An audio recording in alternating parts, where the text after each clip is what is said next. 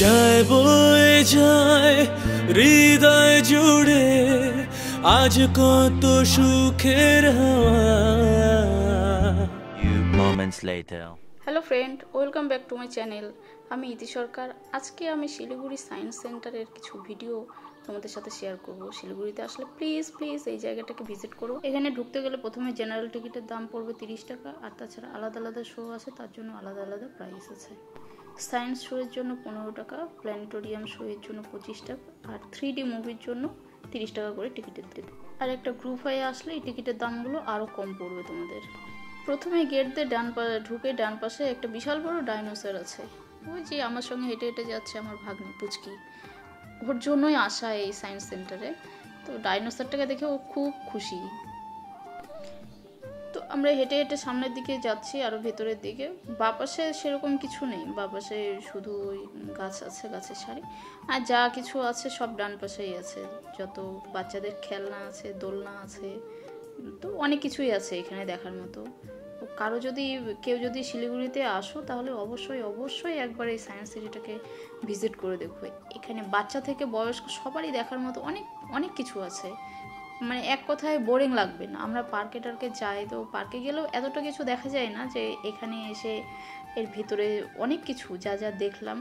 মানে বাচ্চাদের খেলনার জিনিস তো আছেই, বড়দেরও আছে অনেক কিছু দেখার জানার। এরপরে একটু সামনে এগিয়ে যেয়ে দেখো দোলনাগুলো আছে, সবাই দোল খাচ্ছে তো আমার দেখে খুব ভালো লাগল। আমি আমার ওই পুচকিটাকে উঠিয়ে দিলাম দোলনাতে, তো ওই এত ভয় পাচ্ছে, এত ভয় পাচ্ছে, একসময় তো লাফই দিয়ে দিয়েছে। আমি সামনে ছিলাম জন্য ধরে নিয়েছি। দেখো কেমন ভয়ে বসে আছে। এরপর ওই রাস্তা দিয়ে সামনের দিকে এগোতে এগোতে দেখলাম বাস সাইডে এই রাখা আছে যে এরোপ্লেন সিক্সটি টু। বাচ্চারা দেখছে, আমরাও দেখছি, কিন্তু একটা লোককে জিজ্ঞাসা করলাম যে এটা কি অরিজিনাল? তো এখানেই যারা কাজ করে, এই যে জল টল দিয়ে ধোয়া মোছা করছে একজন বলল হ্যাঁ অরিজিনাল। কিন্তু জানি না কি ব্যাপার, কি? আরও সামনের দিকে গিয়ে দেখো, একটা ট্যাব দেখা যাচ্ছে।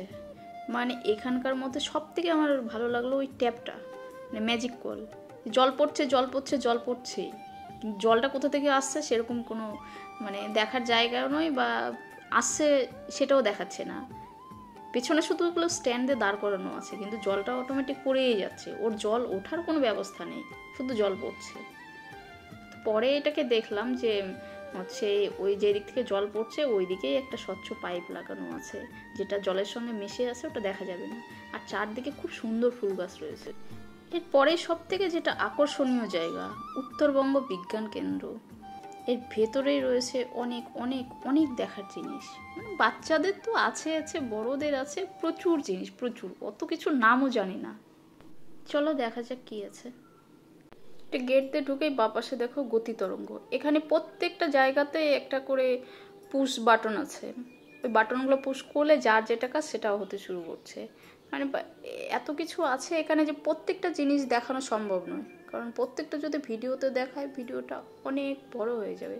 প্রায় এক ঘন্টাতেও সব দেখানো যাবে না সব কিছুর কাজ দেখানো যাবে না এখানে। চলো তোমাদেরকে এবার একটা মজার জিনিস দেখায় দেখো, এখানে টেবিলে অনেক ফল রয়েছে, খাবার।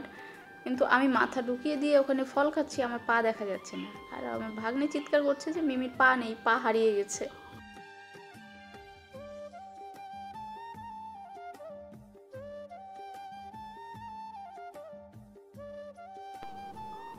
এরপর এখানে কিছু ফানি আয়না রয়েছে যেখানে কাউকে রোগা দেখাচ্ছে কাউকে মোটা কাউকে বিশাল লম্বা এসব আমার মোবাইলে ভিডিওগুলো করা এত ছোট ছোট হয়েছে যে কথার আগে ভিডিওগুলো আগেই চলে যাচ্ছে। দেখো এখানে বিভিন্ন রকমের অ্যাকোরিয়ামে বিভিন্ন রকমের মাছ রয়েছে। হ্যাঁ, মাছগুলো খুব একটা দেখা যাচ্ছে না তবু যে কয়টা পেরেছি তুলেছি।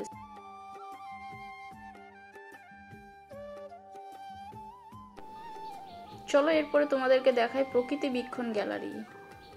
এখানে বিভিন্ন রকম জীবজন্তু রয়েছে ফরেস্ট রয়েছে, কিন্তু সবই আর্টিফিশিয়াল মানে অরিজিনাল কিছু নয়, সব তৈরি করা। বাচ্চারা আসলে বাচ্চাদের খুব ভালো লাগবে, খুব। মানে ওয়ালে বিভিন্ন প্রাণীদের ছবি দেওয়া আছে, তাদের সম্পর্কে দেওয়া আছে, লেখা। এখানেও কিছু অ্যাকোরিয়াম রয়েছে, মাছ রয়েছে অ্যাকোরিয়ামের মধ্যে কিছু কিছু মাছ রয়েছে। আর ওই দিকটাতে তখন প্রায় অন্ধকার হয়ে গেছে। ভেতরের কিছু ভিডিও করতে পারেনি। ওইটা তৈরি করা রয়েছে বিভিন্ন বাঘ, ভালুক, গন্ডার, হরিণ। সব কিছুই ওখানে রয়েছে তৈরি করা। এখন যেটা দেখাবো সেটা দেখো একটা ইন্টারেস্টিং জিনিস যে পেছন দিকে গ্যালারির মতো আছে। ওখানে বাচ্চারা যায় লাফালাফি করলে সামনের দিকে স্ক্রিনে দেখা যাবে যে কেউ বল মারছে, পা দিয়ে হোক, হাত দিয়ে হোক বল মারছে বল খেলছে, সেটা সামনে স্ক্রিনে দেখা যাবে। কিন্তু পেছনে কোনো বল নেই। দেখো ও কী করে বলগুলো ছুটছে।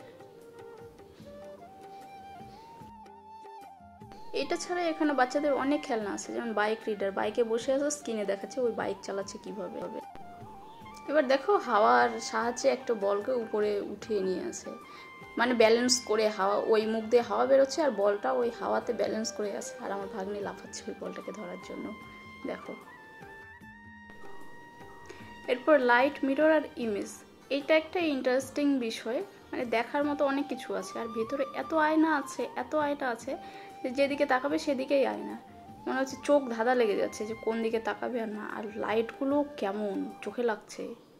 এই যে মিরর মহলটা দেখো, এইখানে যেদিকেই যাবে সেদিকে ওয়ালে ধাক্কা লাগবে। আর ভিতরে একটা ভূতের চিৎকার আছে। মানে আমার তো ভীষণ ভয় করছিল ভিতরে ঢুকে। এমনি রাস্তা খুঁজে পাচ্ছি না, তার মতো ওই ভূতের চিৎকার। এইখানে শ্যাডোর অনেক ফাংশন আছে। যে ভেতরে গিয়ে কেউ দাঁড়ালে বাইরে থেকে ওর শ্যাডোটাকে দেখা যাবে। কিন্তু আমি যে কয়টা রুমের ভিতরে গেলাম, আমার একটাও দেখা যায়নি। জানি না কি প্রবলেম ছিল না, আমি ঠিকঠাক করতে পারছিলাম না। দেখো, এখানে অনেক কিছুই আছে দেখার। আসলে একটা ভিডিওতে সব দেখানো সম্ভব নয়, আর সব কিছু অত ইয়ে করে বলাও সম্ভব নয়, কারণ ভিডিওটা অনেক বড় হয়ে যাবে। তাই যেটুকু পেরেছি, দেখানোর চেষ্টা করেছি এই ভিডিওর মধ্যেই।